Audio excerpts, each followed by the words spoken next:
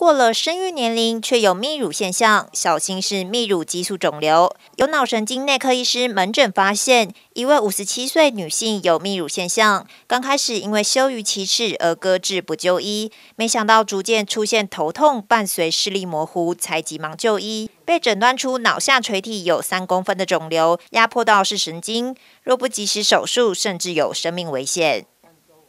据泌乳激素肿瘤它形成的原因。目前并不清楚，那主要当然还是发生在成人，那女性是比较多，那男性也有，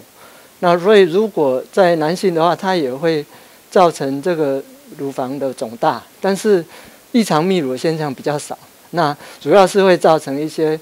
呃性功能的障碍，那女性当然也是一样，她会有一些这个性功能障碍，所以造成她没办法怀孕。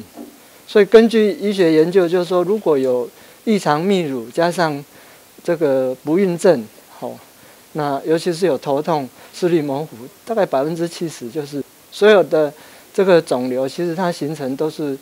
多重原因的了哈。那当然，我想研究到最后，基因总是逃不了的一个呃根本的因素，但是外在的环境。比如说压力啊什么，这可能都是会让所有肿瘤细胞容易形成的一个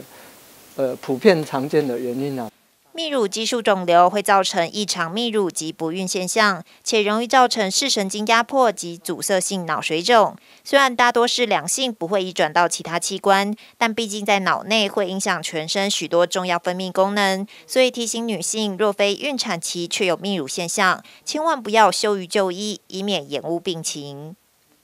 记者温俊台北报道。